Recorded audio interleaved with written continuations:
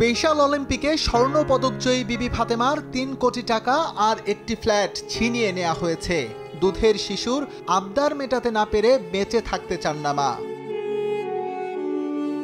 এমন মর্মস্পর্শী সংবাদ নাড়া দিয়েছে সবার হৃদয়ে। সময় সংবাদ জানতে চায় এর পেছনে কারা? কিন্তু তদন্তে নেমেই হোঁচট খেতে হয়। বাক প্রতিবন্ধী বিবি ফাতেমার স্বামী জোর গলায় যে দাবি জানিয়ে আসছিলেন তার কথা এবার গোলমেলে। যে টিভি যেটা বলছে ওটার উপরে আমি নির্ভর করে বলছি যে হয়তো ওই ফ্ল্যাটটাই বিবি ফাতেমার হতে পারে। মানে যদি দিয়ে থাকে ফ্ল্যাটটা হয়তো বিবি ফাতেমারই হবে। ওই হিসাবে আমি বললাম যে ওই ওনার মামা গ্যাস উদ্দিনে ওটা ই করছে। তিন কোটি টাকা কীভাবে আত্মসাত তিন কোটি টাকা এখন মানে যদি দিয়ে থাকে সেটা তো মাননীয় প্রধানমন্ত্রীর নাগালে আছে। এখনও তো বিষয়টা নিয়ে মাননীয় প্রধানমন্ত্রী কোনো একটা কথাও বলতেছে না। এক মিনিটে নগদ ইসলামিক অ্যাকাউন্ট খুলতে ডায়াল করুন চার ওয়ান সিক্স সেভেন হ্যাশ।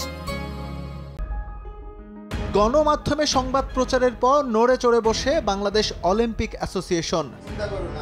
জাতীয় পুরস্কার প্রাপ্ত ফুটবলার আব্দুল গাফফারকে নিয়ে হাজির হয় বিবি ফাতেমার পুরান ঢাকার বাসায়।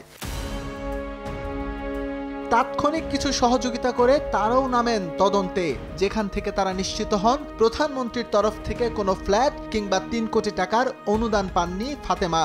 পাঁচ সাত শূন্য শূন্য তিন এক চার চেক নম্বরে মাত্র এক লাখ টাকা ইস্যু করা হয়েছিল দু পনেরো সালের এগারো ফেব্রুয়ারি।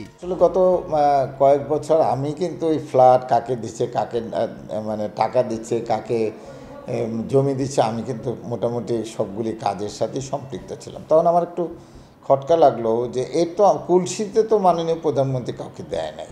বাট আমার কাছে মনে হলো সর্বশেষ যে জিনিসটা মাননীয় প্রধানমন্ত্রী এক লক্ষ টাকা দিয়েছে এবং সেই এক লক্ষ টাকাটাই হয়তো তারা আমার মনে হয় যে পরিবার থেকে নিয়ে গেছে তার বোন বোন জামাই এবং মামারা নাকি তার থেকে সব লিখিত নিয়ে ফ্ল্যাটটা দখল করে নিয়েছে। এখন কে ফ্ল্যাট দিল, কে মানে এই করল, এগুলির কোনো তথ্য উপতথ্য আমরা এখনও পাইনি। এথেন্স স্পেশাল অলিম্পিকে অ্যাথলেটিক্সে স্বর্ণ জিতেছেন বিবি ফাতেমা। এমন আন্তর্জাতিক পদক আছে তার আরও কয়েকটি।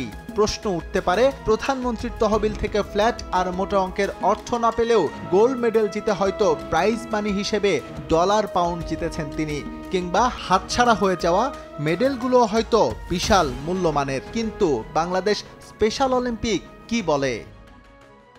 আমাদের কোনো অ্যাথলেটকে বাড়িঘর প্রধানমন্ত্রী দেয়নি। দেওয়া সম্ভব না। একবার মাত্র মাননীয় প্রধানমন্ত্রী প্রায় সত্তর জন অ্যাথলেটকেই এক লাখ টাকা করে দিয়েছিলেন। আমি এই যে গোল্ড মেডেল, ওর কাছ থেকে যদি কেউ নিয়ে থাকে, এগুলো বিক্রি দুশো টাকা বিক্রি করতে পারবে না, দুই টাকা বিক্রি করতে পারবে কারণ এগুলো ভ্যালুটা হলো যারা জিতে তাদের কাছে, কিন্তু অন্য লোকের কাছে এটা কোনো ভ্যালু নাই। মুশকিল হলো যে স্পোর্টস সম্পর্কে যারা কিছু জানে না, সেটা খেলোয়াড় হোক সাংবাদিক হোক বা কোনো চ্যানেল হোক, তারা বুঝতেই চায় না যে কতগুলো জিনিস প্রচার করতে হয় না। কোটি কোটি টাকা কে দিবে তাকে? আমি বুঝলাম না। কে তাকে অ্যাপার্টমেন্ট দিবে?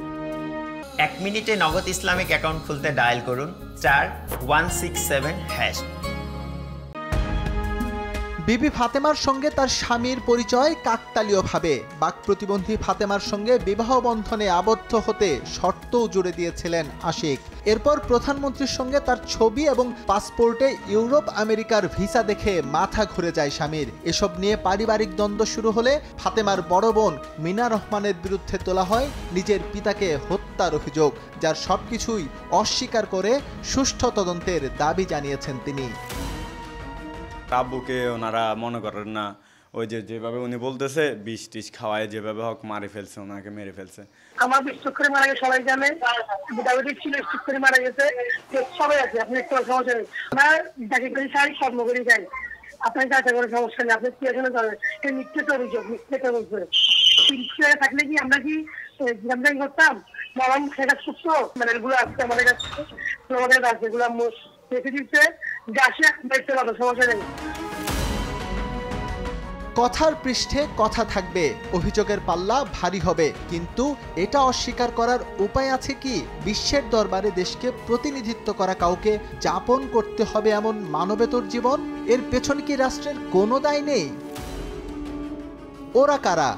যারা বিশেষ চাহিদা সম্পন্নদের ব্যবহার করে আখের গুছিয়ে নেয়। আর এসব কারণেই জন্ম হয় মিথ্যে গল্পের। সম্ভাবনার অলিক স্বপ্ন বুনে কাছের মানুষটাও আশ্রয় নেয় ছল চাতুরীর এস এম ইকবাল, সময় সংবাদ, ঢাকা।